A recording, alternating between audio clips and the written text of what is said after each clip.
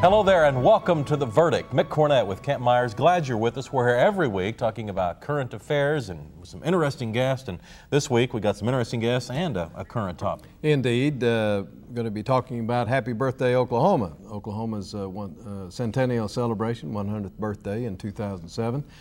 Uh, there's been an awful lot of preparation for it going on up to this point. There's a lot uh, going to happen in 2006 that we'll see and of course a lot more in 2007 and thereafter. And we've got two guests here today that know an awful lot about it and are going to be able to tell us what to look for. These two guests have not waited until 2007 to start uh, giving us events. They've already been had a few and they're building up. And I tell you, 2007 is going to be a magical year. And if you haven't heard much about it, today's guests will be able to uh, fill in all the blanks for you. It's the Oklahoma Centennial 2007, but a lot is going on right now in 2006, and we'll learn about it on today's edition of The Verdict.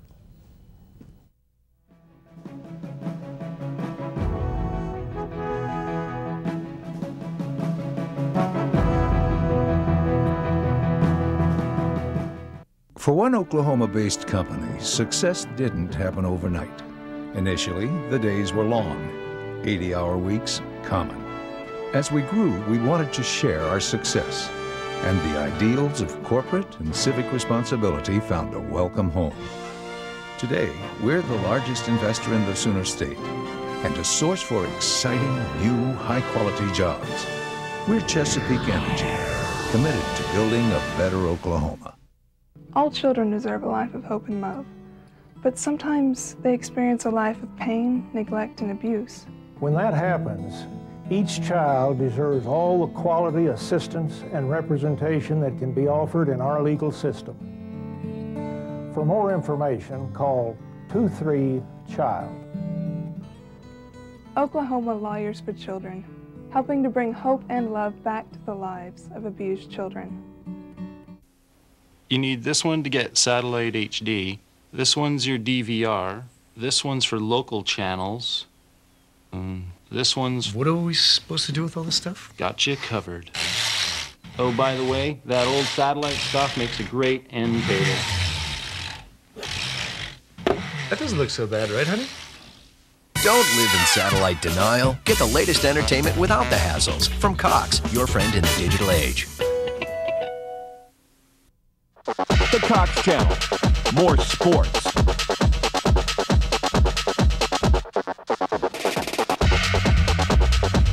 More fans. More cheerleaders. More fun. Nobody does more local sports, and nobody does it better.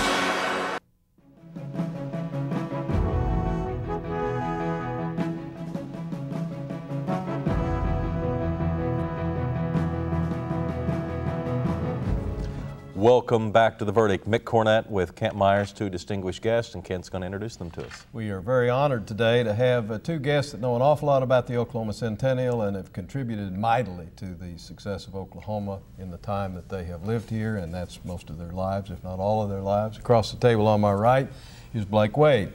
Blake is the executive director of the Oklahoma Centennial Commission. Uh, he is a Lawton native, graduated from the University of Oklahoma, spent 20 honorable years in the military and retired uh, as a major with many decorations. Uh, he has previously served with the Oklahoma Historical Society and he's been the executive director since uh, of the Centennial Commission since 1999. Blake, welcome. Thank you. Glad to have you. Glad to be here. On my left, uh, I am pleased to say is uh, Lee Allen Smith, and what I'm pleased to say about that is that he's a man that I have known and admired for yes, 50, yes, 50 years. Uh, uh, Lee Allen is vice chairman of Ackerman McQueen and is president of Oklahoma Events. Uh, he is a native of Oklahoma City, graduate of Oklahoma City of uh, OU. Uh, has been in the broadcasting, both radio and television business, many years in Oklahoma City. Has uh, uh, earned many civic and professional honors. As a member of the Oklahoma Hall of Fame, he's now chairman of the Oklahoma Heritage Association, and done many, many great things here in Oklahoma and Oklahoma City. Lee Allen, welcome. My pleasure. Thank you. We're going to start with a videotape just to kind of get everybody excited about what's coming up here in 2007 and actually uh, happening up to 2007. So let's take a look at the Oklahoma Centennial video.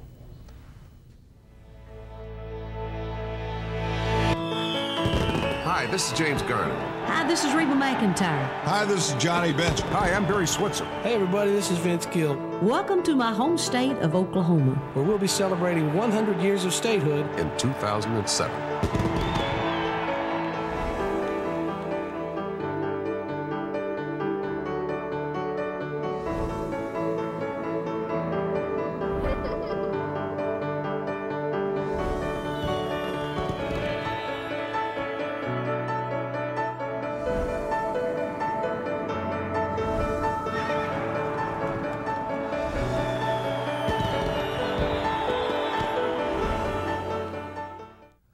Well, I know everybody is anxious to look forward to it. And, and, and Blake, when, when you uh, start a speech to some group in Oklahoma, it could be rural, could be urban Oklahoma, what do you start off with? How do you begin to sell the impact of this centennial celebration?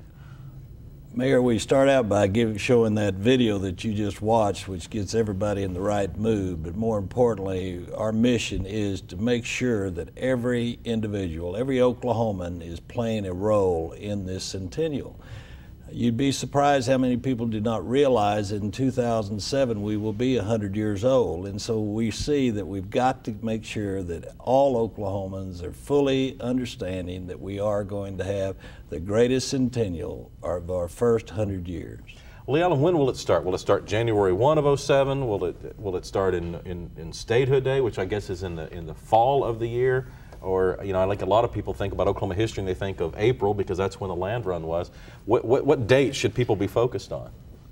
Well, I think that they could focus on November 16th of 07 as being the official day to celebrate. But the countdown began, as you saw in the video. It started with a dome dedication. That was a centennial project.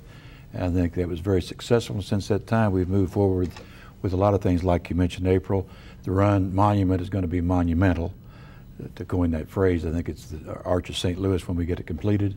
People are happy about it, but we have done. That's uh, the down by the river. Down by the river, be 46 pieces down by the river, and uh, it's magnificent, done by Paul Moore down in Norman. But there's a lot of other things. The clocks going up all over Oklahoma City, the fountain, the Centennial train at the zoo, other things coming along are Boys and Girls Clubs, the Oklahoma Art Museum, many things we're doing that's touching lives of everybody, young, old, athletic, uh, etc. Lots of statues, like we talked about Allie Reynolds and Bobby Murcer. We're putting in Waner Brothers and put in Spahn, and we've got Garner down in Norman, and uh, we have a quarter horse at the State Fair to honor the quarter horse that comes to Oklahoma City to bring so much revenue to our great city.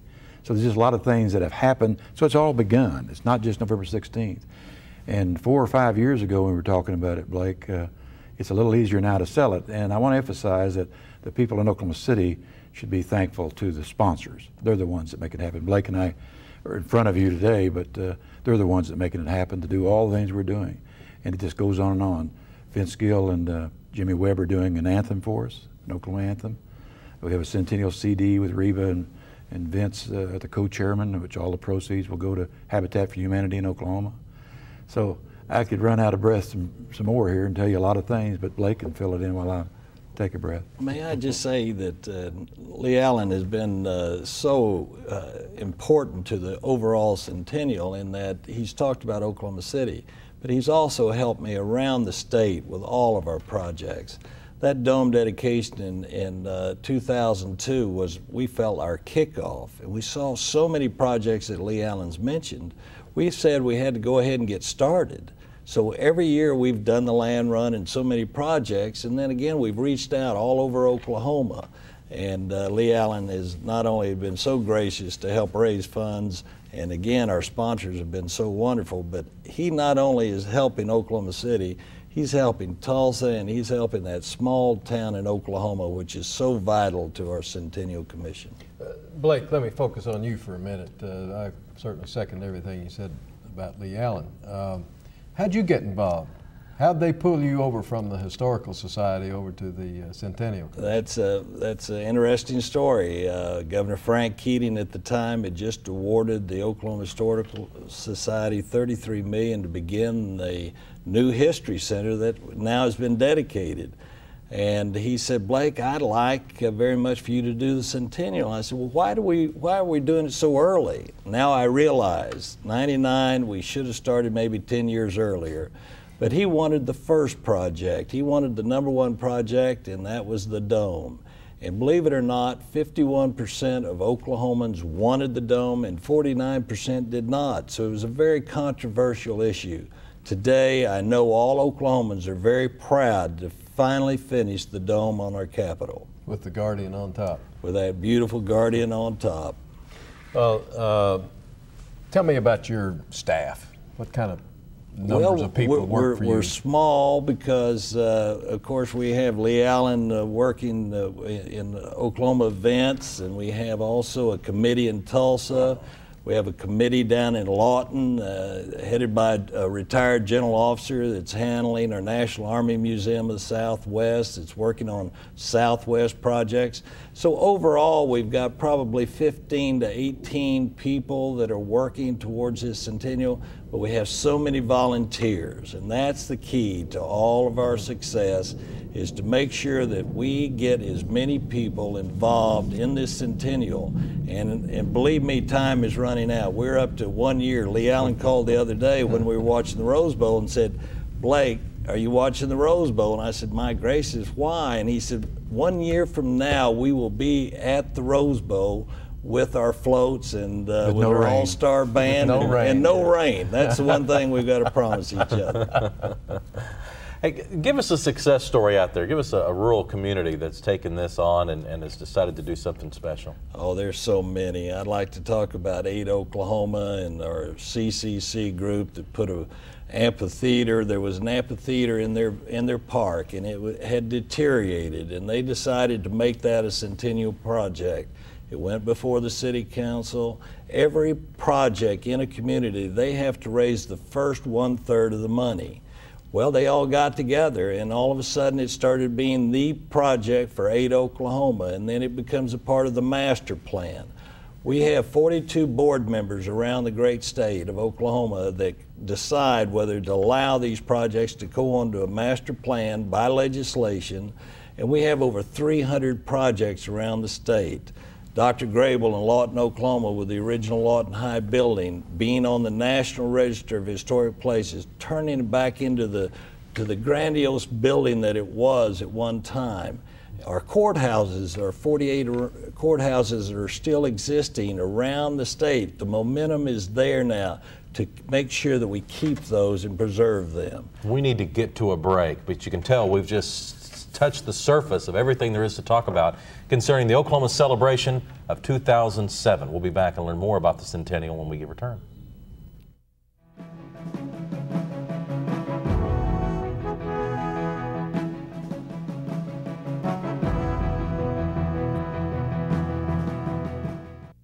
The Journal Record is pleased to be a sponsor of the verdict.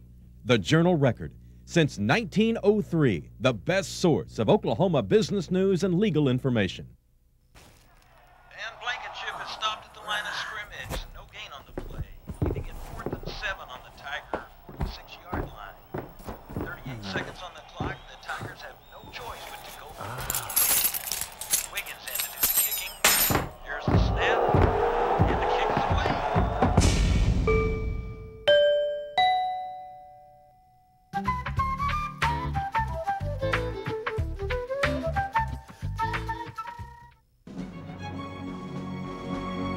RSM McGladrey. We're accountants. We do taxes, business valuations, estate planning, and consulting. And we're right here in Oklahoma working with the owners of small and medium sized businesses. Steve Wilsey and Stuart Meyer have the resources and the experience. RSM McGladrey.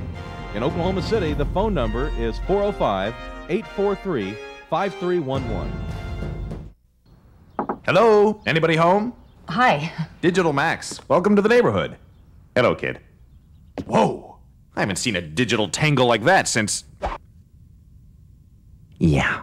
You need Cox Connections. With one connection, you get the whole digital enchilada. Kind of like this. Wow. What are you waiting for? Get one connection to all your digital services from Cox. I think I pulled something. Your friend in the digital age. Not sure where you're headed? NATS can help you find your way. It's the National Athletic Testing System. We call it NATS. You'll call it your launching pad to success. NATS will give you a standardized evaluation that will help you measure your performance and give that information to college coaches so they can accurately evaluate your potential. NATS also helps with academic support. Join with the Oklahoma High School Football Coaches Association and head for success at www.nats.us.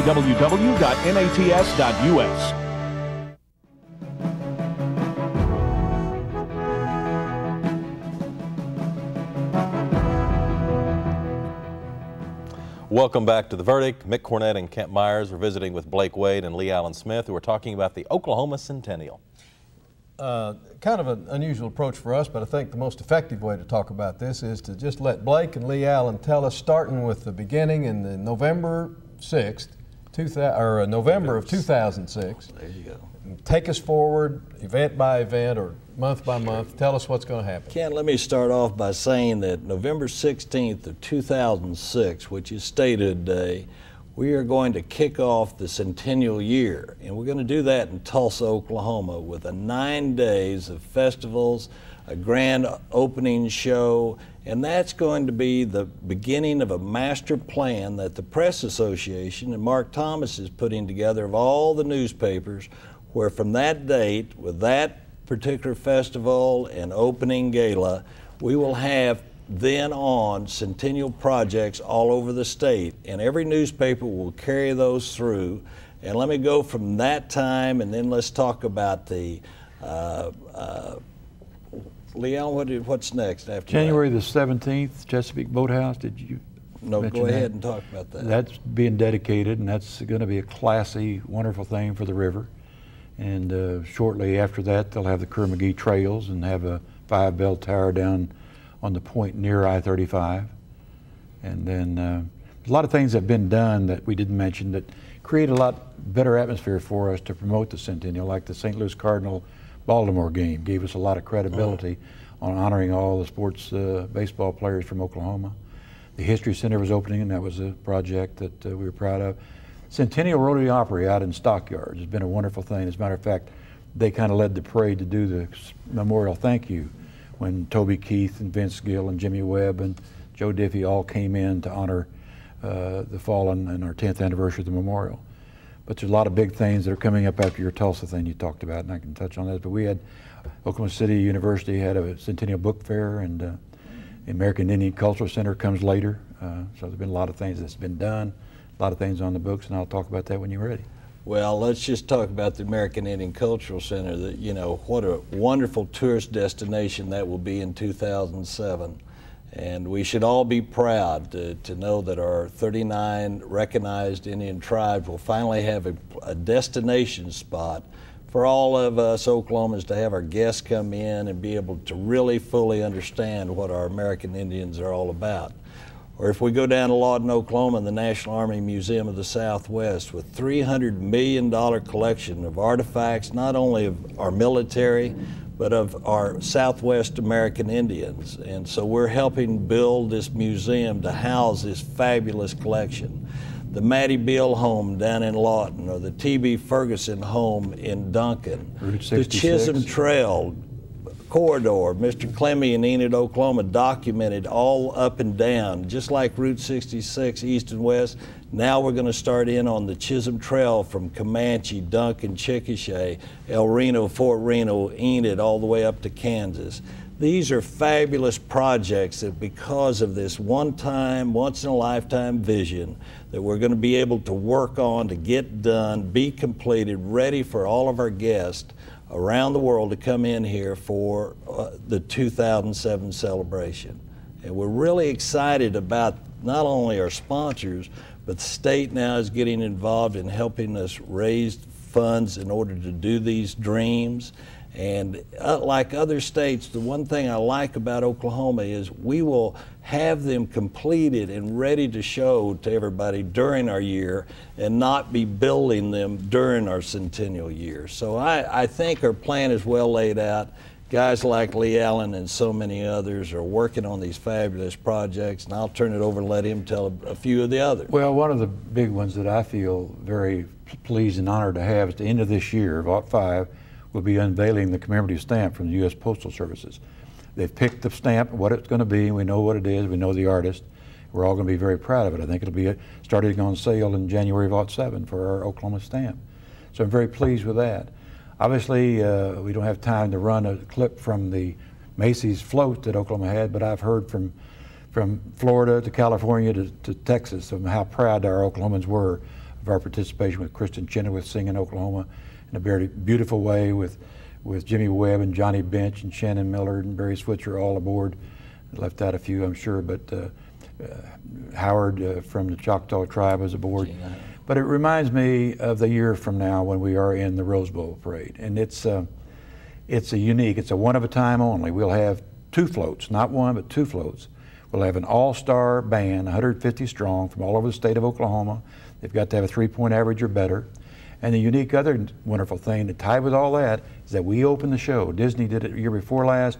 This year, LeAnn Rimes sang on it, but we opened the show, and OCU's dance team, and I've talked to some today of our celebrities that'll be there helping us on in the Rose Bowl. And I hope we'll even have a Oklahoman as the parade marshal. We don't know yet, but we're excited about the Rose Bowl coming up, and uh, you know, and uh, State Fair will have a lot to do with our promotion too. They'll have a State Fair Expo, uh, Centennial Expo in 07.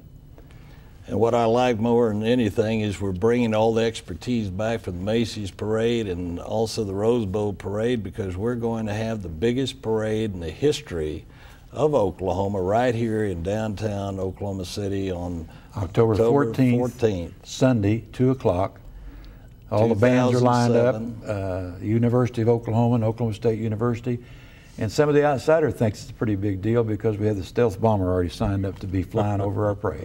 well, so it's going to be big. What we found out being in New York and out in California is we have so many Oklahomans that now live out there that they are so proud that we have branched out to bring in the world. What did they say? The Rose Bowl, 50 countries and 30 million people see that parade in that one day. Well, I know in New York there were two and a half million people on the streets. And so it's kind of overwhelming for this Oklahoman, but I'm just so excited to bring mm-hmm. back some of these dreams that, that, we've always had. Just over a minute and a half left in the show. The funding from the state legislature, it's been, yes, it's going to happen, not this year. We've heard that for a year or two. Where is it today as the legislative session starts? Today, the governor and the Speaker of the House and the Senate Pro Tem have all signed a, a letter agreeing to give the Centennial $16 million, $4 million from, for Oklahoma City, 4 million for Tulsa, and 8 million rural. And you got to remember, every dollar we will have matched by $1, so now we're talking about $32 million. I do know that they're going to pass this in a supplement as soon as session starts around 1 February. And I couldn't be more delighted because every community needs that little boost, and every senator and representative understands that. And by them giving it to us now and us matching these dollars, we can be ready for They can plan for it. They need time to plan but more so. In 15 seconds left, Lee Allen. How do you want to end the show? Well, I just would end it to, to, say I appreciate the legislature and the governor all pulling together to do that. And the Oklahoma City dollars will go to major events, not to mostly to any of these things we talked about. In closing, the big show it will be extravaganza at the Ford Center on November 16th, and many and all of many, many, many of your celebrities like Vince and and, and all the rest of them. I don't want to name them because they're not all committed, but uh, talked to Garner's people today. We'll have all of our celebrities back as best we can to celebrate that night. Then we're not through because the second century begins. We'll have some surprise for you, at least in Oklahoma City, starting November 17th. Got to go. Uh, Kent, I'll be back with a final word after this. Leon and Blake, thanks for thanks, good luck guys. in 2007.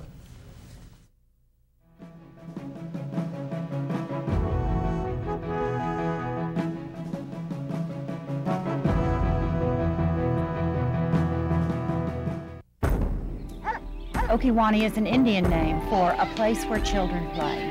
When we obtained the camp, we found a lot of oil debris left in the woods. We saw a commercial about how the oil and natural gas industry cleans up old oil well sites. We called the OERB and they agreed to remove tons of concrete and steel. It didn't cost us a thing. Thousands of children have left their footprints on this land. Thanks to the oil and gas industry, they will for a long time to come bringing out the best in each student. That is the simple goal and tradition of Heritage Hall. The focus on the individual shapes the educational experience at Heritage Hall. Each student benefits from small classes, able, dedicated teachers, a solid academic curriculum, and exceptional co-curricular programs of athletics, arts, community service, and other activities, parental involvement, personalized counseling, and the development of responsibility, integrity, and love of learning. If you want education taught with pride, then you want Heritage Hall. He's gonna score. Come on, come on, come on, baby. Come on, baby. Come on, baby. Go, go! Go, go, go!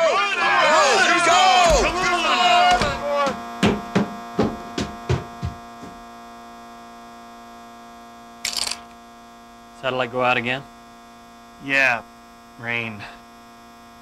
But this is just as fun.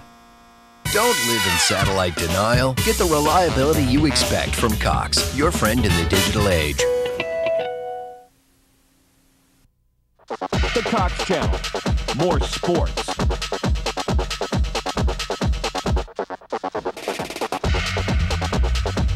More fans. More cheerleaders. More fun. Nobody does more local sports, and nobody does it better.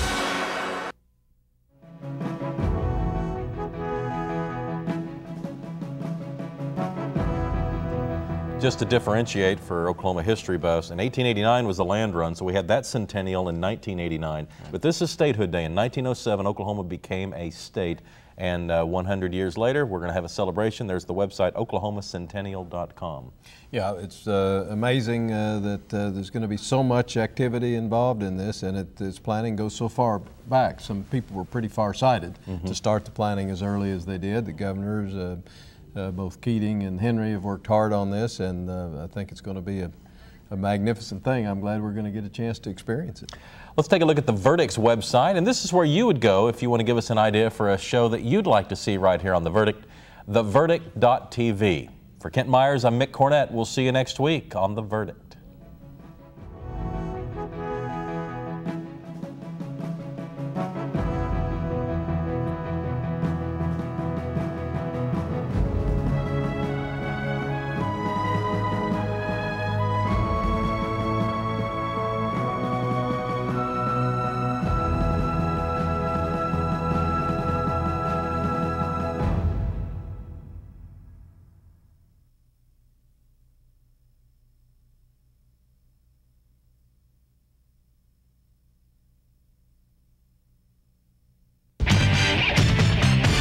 Preceding program was produced by the Production Services Group at Cox Communications, exclusively for the Cox Channel.